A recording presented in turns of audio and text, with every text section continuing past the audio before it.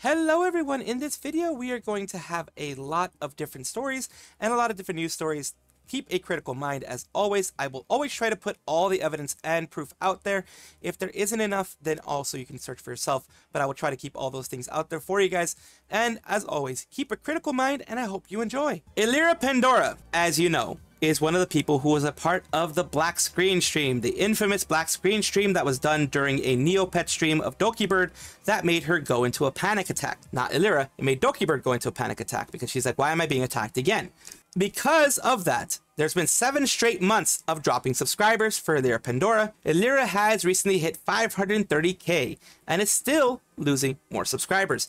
And I have a feeling she's going to continue hitting that low continue going low and it's going to continue dropping because um, people are number one not necessarily because of the black screen stream because a lot of people who are left after the main drop were people who are still fans of Elira. Now, what I'm talking about is people who may leave her because she's not streaming enough and there are other people around who are streaming. There's going to be dead subscribers. There's going to be things like that that happen in this whole thing. But right now, we're going to be talking about the, the, the drop that she's had. She had gotten to 600k around March, you know, February, March of uh, 2024, she had worked her way up. I mean, congratulations for them to working their way up. Then after that whole black screen stream situation really started getting big, uh, it dropped by a lot. You can see it's it's a really, really steep drop. And then it's been on a continuous decline the whole way. For someone like her, she has lost about 10 times, about 10 times the people that I have as subscribers themselves. So she's dropped a lot overall. She has dropped a lot, and that is saying a lot, if you know what I mean.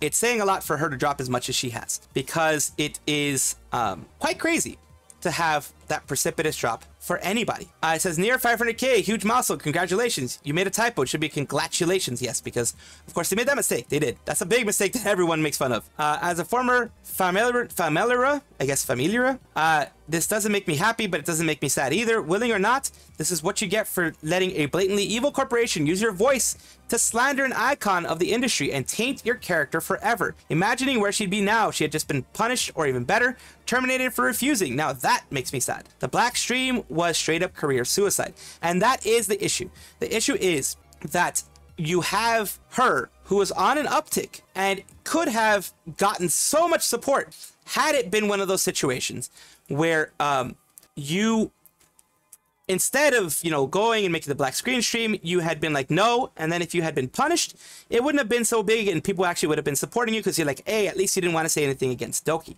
And that would have also taken away a lot of the rats that are around about her being a a like management style person like doing management in there being a part of the clique things like that would have been erased pretty quickly if she had been a little bit smarter with what she did amelia watson has finally ended her streaming career, at least so far, her streams. That's all that's ending. Of course, she hasn't graduated. She's still affiliated with Hololive, but streaming and that type of social media creation has ended. It's going to be more doing projects and things like that with uh with them. They said you might find her in you know certain lives, certain uh, projects here and there, things like that. Uh, you may be you know concerts, and things like that. Thank you all so much for your support during my time here. Through the scuff streams, late schedules, many a completed game, and unforgettable moments. Thank you, thank you. My time here in Hololive has been filled with so much joy. All the goals accomplished, and all the friends made. I'm so happy I was chosen to be your detective. Thank you, forever. And of course, there is the uh, you know, wonderful things here. Of course, her last message was 07, a salute to goodbyes. And see you laters. Not so much a goodbye, because they are still affiliated, of course, with Hololive. So it's still sad and in and out this happened, but it did.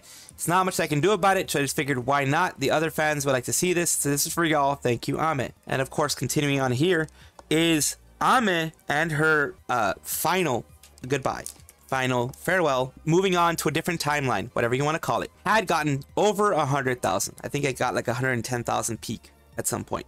So it had definitely gotten over 100,000, which is well deserved because it is one of those moments that you don't want to miss. And I watched it as well, along with everyone else. Goodbye, Ame. Until next time, stay happy, healthy, and may we hear from you again. Take care, detective. And that was, you know, the live stream being offline. And of course, her saying, uh, you know, the live chat here. Being I thank you so much. I'll always love you. Bye, media, thank you again. Exit stage left. She did. She exited the stage. She did it all in 3D. It was, she wore the mocap suit and everything like that. So she did a full 3D from her own home, which was amazing to see. It was a great thing to see, honestly. Some final messages were said and expressed, of course. One, Amelia's message, as I'm going to remain a Hololive affiliate. You guys will still hear me in some songs and covers. Uh, see me in projects every once in a while. So see you later for now. That's a reminder that it is not a final goodbye. It is a changing of the way that things are happening. This is the first time it's ever happened in Hololive, and as far as I know, the first time it's ever happened in a large agency where they're still an affiliate, but they're not streaming with them because the streams have stopped and that type of stuff. So it's it's an it's new ground, and leave it to Amelia to always break new ground. I really hope this new approach test this kind of thing works out for her, for Hololive, for us as viewers, and maybe even for corporate VTubing as a whole, because this is not a bad thing. I mean, if you can get this stuff done, if you can get it done properly, and you can get it experience, have the experience be positive and be something that moves the content forward in one way or another, it is a good thing because that doesn't mean that people have to graduate when they want to move on to you know their next situation their next things going on it says of course here it says if successful it really seems like a win-win-win situation company still gets the revenue from the ip talent gets to meet old colleagues and get some money and the fans get to see hear their idol every so often Exactly. And the issue is, I think, with most agencies not being able to do this, is that most agencies are very vicious with protecting their IPs, like Nijisanji and others. Hololive protects the IPs very much so, but has always allowed the pri- the private lives or the personal lives or the PLs or the past lives of the livers that they have, the VTubers that they have, uh, continue. That's why people like Calli have been able to continue in their old stuff. Kiara has been able to continue in their old stuff. Matsuri has been able to continue in their old stuff. Mio has been able to continue in her old stuff. It is just as long as you keep the two separate and you don't intermingle the two. That's why I never intermingle the two, and I never mention them un- while they are still members of Hololive. I try to never mention them their old white, their old people, their old ways of doing things, their their old style, their old VTuber persona or IRL persona. I try not to have that. And on to more messages. This one was from uh, Henma, the, the Hen manager, the media's manager. Uh, first of all, I want to personally thank all teammates for their love and support you've all provided Ame over the years. Without uh, without which none of the, what we have or what is would have been possible. So there is no denying that. In a way, I get paid because of you guys, haha, so thank you for that. Secondly, I have received all presents the community has been putting together and made sure it reaches her to either enjoy personally or share on stream. Thank you to everyone involved for organizing, contributing, producing, and or providing your support. Thirdly, I just want you guys to know it's been an absolute pleasure for me too to be able to do all these wonderful things and seeing the warm reactions of the community and how they appreciate things. I don't think we could ask for anything better. So take care out there and have a great one. And it has, you know, the Amelia head pat cheers, which is, you know, a good message to send to the community. Community's done a lot. And uh, to kind of finish this off, this section off, I want to show you the updated uh, Holo Myth portion of Hololive Productions, the way they have it. In English, I like this better because the Japanese one, I think, translates, Calli said it last night, translates to no longer streaming. Uh, that seems like, you know, it's more of a goodbye. But here, it's Mori, Cal- Mori Calliope, Mori Calliope, Takanashi Kiara, Ninomae Ina'nis, Gargura, and the affiliate, Amelia Watson. This sounds so much better. This is a nice cap to everything she's done. And of course, as long as she's remembered, she'll never be gone. Never ever. And she'll never be forgotten. Even if she did graduate, she'll never be forgotten. For those who might be confused, normally graduating talents are moved on to the alumni section to show that they left Hololive. Ame, however, is being left in the myth section just with affiliate prefix to indicate her status. So the graduate members are actually removed from the gens they belong to. Instead, in addition to being placed in the alum tab, they're placed at the end of active talents. Also, you can see how it all works out in the English tab. An alum like Sana moved to the end as above, but Ame keeps her place after Gura and before Iris. So they, it's a different shuffling. I hope this continues. I hope that most talents, instead of graduating, will decide to become affiliates with Hololive so they can still do some things in their own personal lives. They can still follow their own personal journeys, their own personal uh, success stories, their own personal things that they want to follow, but also have the ability to be a part of Hololive if they so wish it. And that is what I always want for everybody involved. I am not going to say anything negative about Uwu Market because I have zero experience with them. Um, and they seem to have fixed a lot of these issues as this person even says here. But let's see what they have to say. Ryu, Gooey Gooey, Garu, uh, Geisha, Ghost Gamer Girl says Uwu Market handled me and my community unprofessionally and unfairly for a long time. This is of course their story. I just put it out there because it is their story. Please do not ask me to release stuff with them. They might have gotten better and more organized over time. The CEO Farah did not treat me fairly, and I see no reason to be silent about it. They still haven't apologized to me and my community, by the way. CEO a man approached me for special merch and then ghosted me twice. Monthly merch were nine months late. Offered a voucher to the community to make up for it and change their mind. I'm not making this tweet to try to get something from them. I'm done working with them. Whenever I bring up uh, making off Kilter merch, People ask why I don't work with Uwu Market. I was one of the first to work with them, and they dropped the ball and didn't even say sorry. I want to point out the absurdity of journalist VTubers and NewsTubers selling merch with a company and not reporting negative news on that company while scrounging for info on indie VTubers. Unbiased journalism at its finest. The reason Uwu Market fiasco gets me so healed heated is that they rely on you being too scared to inconvenience your chuba to report that something is wrong with your merch. They've demonstrated they don't care about being late, having low quality, so long as one, no one says anything. And that sucks. It sucks I had viewers too scared to tell me their box was six months late. It sucks that they had to come to me finally to get a response from Uwu Market. It sucks that VTubers are too scared to speak up about Uwu Market because of their reach. Allow me to seethe. Now, I hope that my covering this, because I am going to cover it, because I do not like being silenced. I do not like a company having the type of reach where I will be silenced because I'm talking about them. I hope that things have been fixed. I do not know if things have been fixed. I do not know if they are still the same way that they are. This is one person's story, and of course, I'm sharing it because I feel it needs to be shared. Companies can mess up. Yes, they can. Uh, I mean, they're human beings. They can mess up. But for this person to not have gotten any response and to have gotten ghosted the way that they did and all these things when it happened to them, whenever that was, they don't give us a date, they don't give us in a specific time, anything like that. I take people at face value and I take the companies at face value. If Uwu Market wants to speak to me and clear this up and let me know, you know, things have gotten better. Here are the things that we have done to get better. I will, of course, talk to you. Of course I will. And as long as things are good, you know, I, I as I've said, there are bad times for companies. Companies do bad things. They can be better, but it does suck that a VTuber at all had to deal with this issue. That just sucks. Like, you know, when people have to deal with issues when it comes to Amazon or anyone else. I will call it out because I'm a journalist.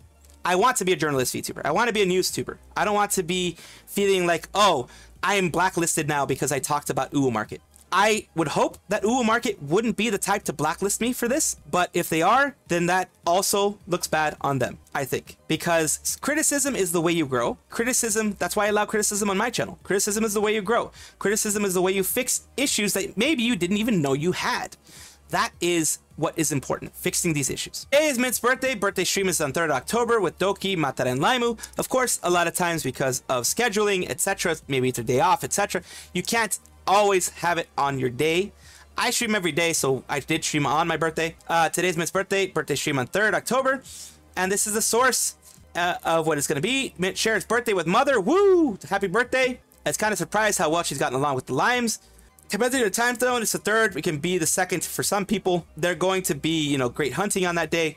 And of course, we have another thing that happened, which is the ghosts of Akiverse, which is basically they went to Akihabara they had on the book off, which is, you know, a place where you can buy books, use books. They had Mint Fantome Happy Birthday. The fans paid for Mint Fantome and they also paid for a different set for um for Pomu like an actual billboard for Pomu that you know extends beyond everything. So that's actually pretty cool. And here we have a video of someone at Akihabara taking a look at everything that's going on. And of course, the, the excitement, the excitement that, that is that is being seen there. Oh, this is mint. This is actually mint. I didn't have sound, so that was that was mint.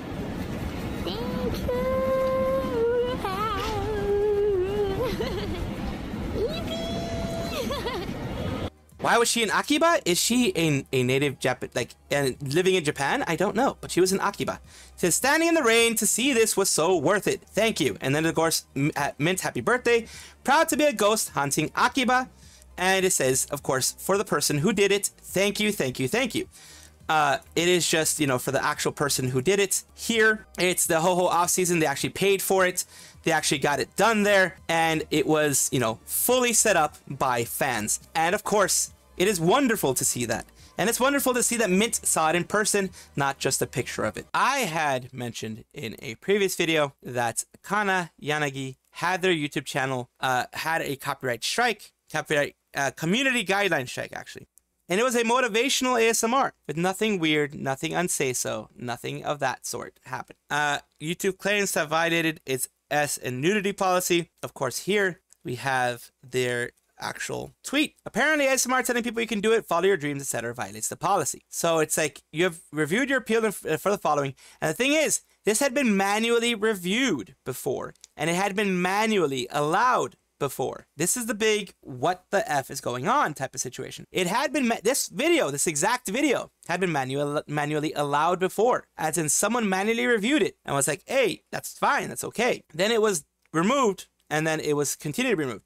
Talk with the management about how to proceed with the ASMR content until we figure it out. I have to pause ASMR streams because I literally have no idea what's going on anymore the guidelines. Uh, make sure we're looking at the right video. Share the URL. It's linked in my tweets, luckily. Uh, YouTube, Wakana, welcome to the dark side. Let's see how they responded. Appreciate the info. We're going to pass this along to another look. It may take a couple of days until we have an update, but we'll let you know when we have one. Appreciate it. Hopefully this can be resolved. And because I like positive endings to these stories, I will show you the positive ending to the story. The community guideline warning is gone. Thank you so much to everyone who commented on this and got the attention of YouTube. I think someone at YouTube finally took a look at it because the ASMR video is back. I'm so relieved. Hooray, I'm so glad it got you got help. I'm glad it got fixed. Glad everyone in Kanna's, uh, the Kamos, were able to get their YouTube's attention and look into it. Nothing but love, Kanna. Everyone else been appalled by YouTube's inability to effectively uh, manage their own platform. Glad things are finally coming together. So things came together. She got that strike removed. It's gone. It's good. It's done. It's the way it should be, of course. It always should be this way, where okay, I understand the sussy stuff. Yes, get rid of it. Get rid of the sussy stuff. Shouldn't be there. Anything to NSFW shouldn't be there. But um, if it's not NSFW, if it's actually trying to push positivity, then let it be. Which luckily YouTube saw the light and let it be. Congratulations, Kanna, for getting that removed, and probably Pixel Link helped a bit too. There are some bad things that happen in the VTuber sphere unfortunately. In this case, an editor, I guess, who had an access to TikTok in order to place things on a person's TikTok, on a VTuber's TikTok, took away the VTuber's TikTok, took away access, uh, changed the information on there, what have you, and now they're pretending to be them, which is, I don't know why they would do that. I guess just to get fame and money and whatever. I don't know. I don't know how, how TikTok pays things overall. So I don't know what's going on. VTuber Deme has her TikTok account stolen by former editor, and the source is here. My TikTok got hacked by my former editor, and I have no access to it. This is now an account that is impersonating me. Please report it. Deme Nishki VT. Report the TikTok. This one, my real TikTok, is Deminishki as of right now, not the Deminishki VT the actual Deminishki as of right now. One must wonder why people do this. Who really knows? What the F? So sorry it happened to you. Holy F. So sorry this happened to you. I'll be following your new account. And of course, because it already has 65k followers. That's why they did it. That's absolutely why they did it. And it says rough. Anyway, what happened between them? The editor claiming her account is probably only hurting himself more. Who would who would like to hire them if he pulls stuff like that? Uh, probably dumb. I don't know why someone who works with the internet would paint a target on their back like this.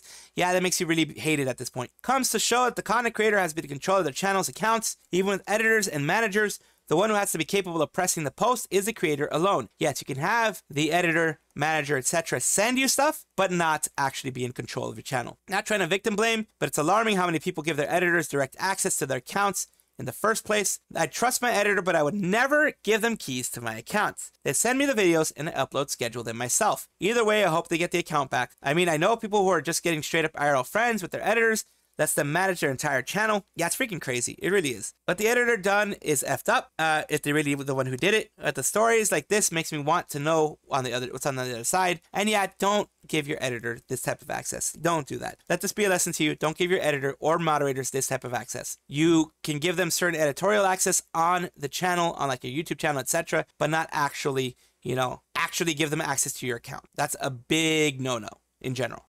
A creator uh, from Palette Project, who was uh, accused of, or at least assumed to be an issue with um, them having broken contract, is uh, has left. Uh, the Palette Project area and has become transferred, has gotten transferred to Mat- Material. Material is the umbrella agency for Palette Project and things like that. So it's like Cover with Hololive. Cover is the big agency. Hololive is the one doing the talents.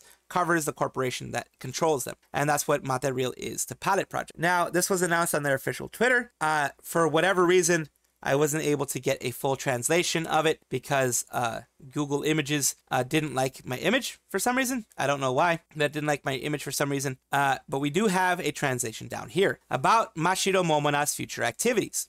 Thank you very much for your continued support of Momona Mashiro Palette Project. As a result of our investigation, we have confirmed the fact that Momona Mashiro has been leaking internal information to outside third parties without permission outside of the distribution channel. So outside of YouTube, outside of Twitch, Twitter, or if they have a Twitch, uh, they have been leaking information, internal information, which is always a no-no on any agency. I am still don't leak things that I know about uh, DreamWorks Animation, which is an agency that I used to be a part of, that I spent over a year working with. I still don't say certain information because it's not public. Information that's not public, no matter how long ago you're away, you can easily get blacklisted for it. The above is clear violation of confidentiality agreement between our company and Momona Mashiro. In addition, we have confirmed that Momona Mashiro had, in her past deployments, made statements of information that could be referred to as part of the company's confidential information, and made statements that could be determined detrimental to Palette Project and give rise to speculation contrary to the facts. October 21st, we issued a strict warning to Momona. However, even after a strict warning, there had been no sufficient improvement in their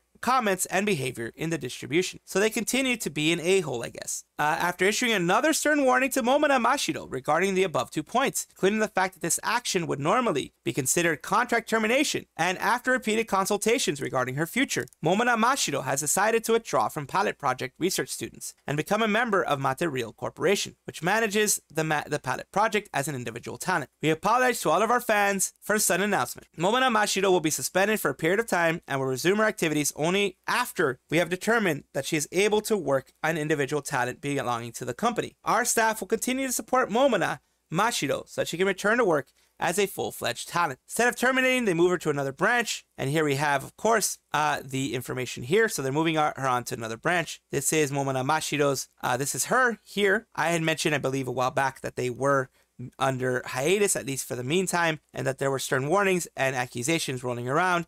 I had covered the story before, did not expect that they would be moved. Um, so they are independent under Material.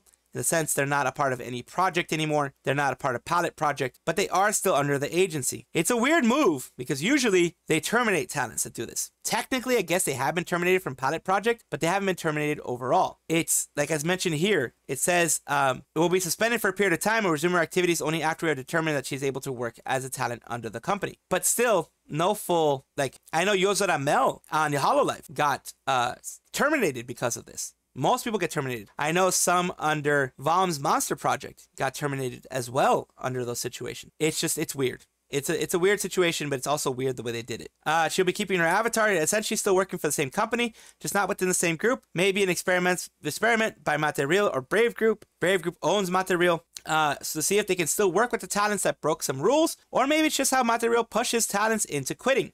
Maybe they do, because maybe they're going to get less less support and just going to be on life support for a while. So we don't know. I wish them the best, of course, and I hope that the Material thing uh, gets fixed, and I hope that they fix whatever situation is going on. Welcome back to the VTuber Showcase, the place where I like to give back to the VTuber community, and my way of giving back is showcasing various VTubers, big and small, and of all separate sizes, new and existing ones that have been around for a bit, all in the push to try to get them, at the very least, seen by other people and hopefully help them grow a little bit.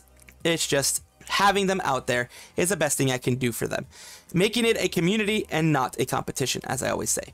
Chrysalis, the Chrysalia Csilla, it's a goddess of rebirth VTuber that sings, designs, and screams. It is, of course, the uh, this is their design. This is their full-on design, which is a very, very nice design. It's the reference sheet here getting a full look at everything. And here we are on their uh, VTuber Twitch channel. We're going to take a look at their about section here, of course. And um, their about is Chrysalia. Csilla. Uh, go by Chris. I'm a goddess of rebirth, observing various civilizations and find meaning of life. Great place to be if you're down for some chaos and comfort. So a little bit of chaos, a little bit of comfort going on there. And of course, we have here uh, Nier Automata covers, other covers that they've been doing, the debuts that they've been having 11 months ago.